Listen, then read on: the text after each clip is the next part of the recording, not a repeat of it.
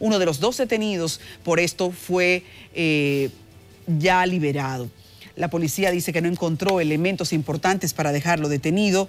Xavier García fue dejado en libertad porque dicen no tiene relación con el hecho, únicamente es el propietario de un vehículo Hyundai que dio en calidad de alquiler a Brian Alberto Acevedo, uno de los supuestos responsables de la muerte de José de Jesús Morán Méndez, el taxista.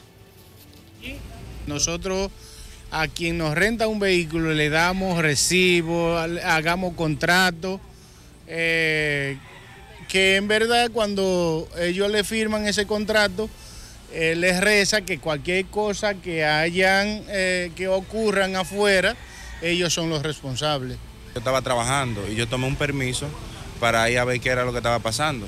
Entonces cuando yo veo y me explican lo que está pasando, me bajaron aquí y me interrogaron, todo bien.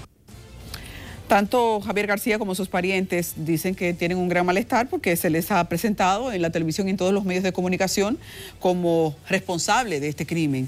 Así que ahora liberado, pues naturalmente ha dado sus declaraciones.